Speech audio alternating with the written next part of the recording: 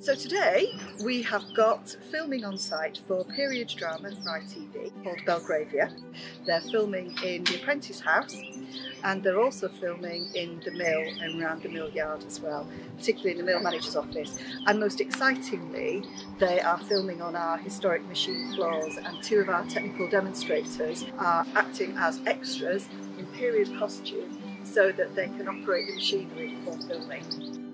I'm actually been involved with the actual drama today. So in the filming, I'm going to be running the looms. My role is to essentially tell the extras what they need to do, where they can stand that's safe. Uh, I'll be setting the looms on and switching them off and being filmed at the same time. I was in uh, the Channel 4 series, Mill.